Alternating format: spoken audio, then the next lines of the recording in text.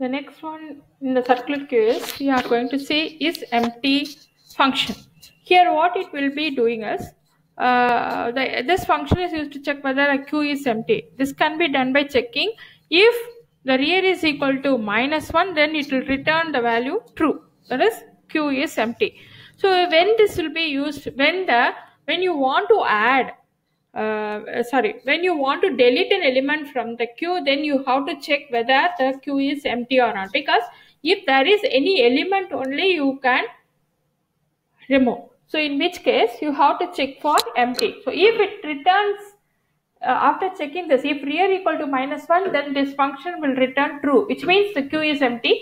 So uh, the uh, it can be said that uh, no values can be removed because it is already empty if it is, uh, if this uh, function returns a false, then uh, some more data, can, that is element can be removed from the queue. That is what the solution, that is what has decision has to be taken. So in which case, what we are going to do is we are going to see how we can check.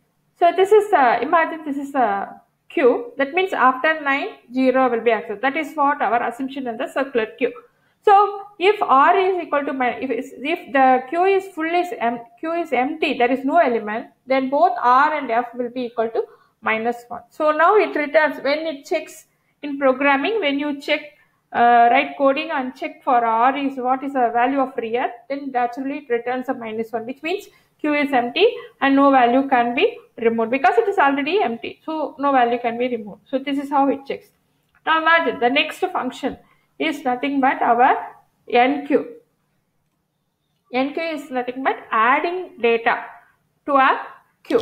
So in which case what we have to do is uh, we have to check first whether it is full. If it is full you cannot add an element into the queue. So if it is not then you have to uh, update the rear value in such a way that using this formula that is rear equal to rear plus 1 mod queue size because since it is a circular queue, if it has reached the end of the queue, again there may be space in the first locations, first, second, third locations of the queue. In which case, how to treat that? You have to make it as a circular. So for that, you have to use this formula. So how you can do that? That is what we are going to see now. So imagine you have this. Uh, suppose you are, uh, imagine you, your front is here and rear is here. Now, uh, if in case these are all, there is space. Okay, imagine there is space in this. You think that rear and front are like this. Front is here and rear is here. Now, when you want to add, you will be checking whether it is full or not. If it is full, you cannot add. So, what is the condition for checking full? You will be doing r plus 1. So at any point of time, if both are same, so this is the condition for full. So r plus 1, if it is, uh, if uh, both r, r and f are same. So in case, in this case, if I am going to add more element, then r will be r plus 1, which is nothing but r is equal to f, in which case you will be saying that it is a full. So r else, how you will be doing? Say for example, r equal to r plus 1 here. So 3, initially R is 3, 3 plus 1, imagine you have 3. So 3 plus 1, it is nothing but 4. So here 4 mod size of the queue. So what happens? Again we get 4.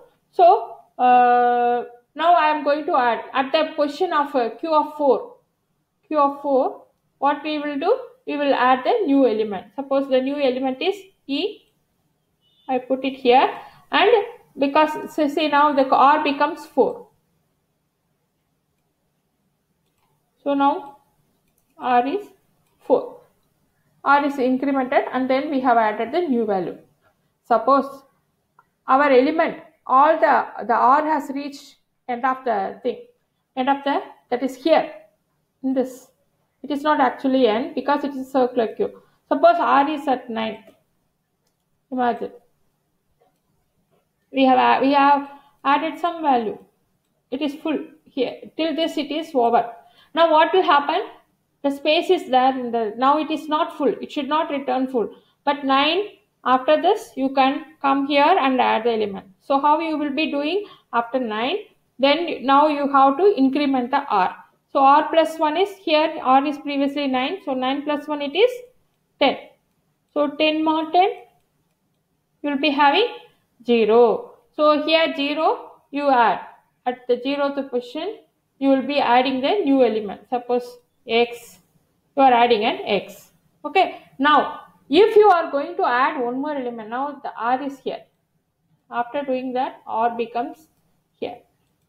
r is uh, pointing now zeroth index. Now suppose you want to add again, now you will be checking for each and every time when you add, you will be checking for the full queue conditions. So in which case what happens? R becomes here you will apply this formula. R equal to R plus 1 which is nothing but 0. 0 plus 1 it is 1. So 1 mod 10 it is 1 again. Now R is what? 1. So both R and F are same. So when R and F are same, it is nothing but the condition is full. The uh, queue is full. That is what it says. If R and F is equal to same, then the queue is said to be full. And you cannot add more. But here we have made this to be a circular queue and we have added. So that can be done. How it can be done only by using this. That is why when it is 9, 9 plus 1 it is 10, 10 mod 10 it is nothing but 0. So we will be at we will be able to do like this in a circular fashion only by this. So the next one is dequeue. So we'll be seeing what we have to do in a dequeue. Now in dequeue again you will be doing uh, whether the we will be checking whether the queue is empty because if any element is there only you can remove. So for that you do this. Then if it is empty you display a queue is empty. If else if not then you go to this third step. Check if front equal to rear. If it is true then set front equal to 0 and rear equal to minus 1. What do you mean by that? front and rear if they are all both same that means they are pointing to the same location means there is only one element in the queue so now that is what we are going to remove now so how you can remove making the pointer modification. So front equal to 0 and rear because your rear is made as minus 1 in this case it will be made as queue is made empty. That is what we have seen in the previous uh, slide. That is when it is made it is equal to minus and you make this to be a 0 so when you make this it is said to be empty. So here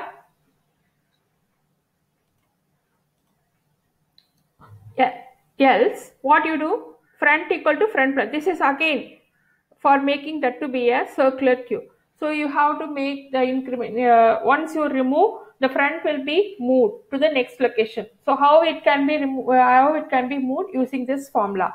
So that is what we are going to see now. Here dequeue. Say for example, initially front is, let us take an example. F is pointing to zeroth index and R is pointing to the 2 index. Now I am going to remove an element. from. So removal can be done only from the front. So now when it is do front equal to front plus 1 after removal what will happen? The f is moved to that. But before that you will be checking whether it is equal to minus 1 or not. Here it is not. Okay? So and it is not a only one element. When it is only one element both f and r will be pointing if there is no element here. Imagine. Then which means the front is front and rear will be pointing to the same element so that means single element so after removal of that, the queue will be empty. So in which case you have to make front equal to 0 and rear becomes minus 1. In which case you can be called, this can be called as empty queue. So now you have, let us imagine some other condition where it is not like this. Front is pointing this and rear is pointing this. In that case also you will be checking whether some element. So it will return that it has some value uh, by saying that front is not equal to r. So in that case you will be incrementing this pointer. So you f plus 1 how? By making this form using this formula f plus 1. So 0 I am going to remove this. So 0 plus 1 is what? 1. So f becomes now 1. So F is pointing to the next location and now this is no more accessible now. So this is nothing but removal of the element. This is no more accessible. So front is pointing this and rear is pointing this. So this is how you do a dequeue.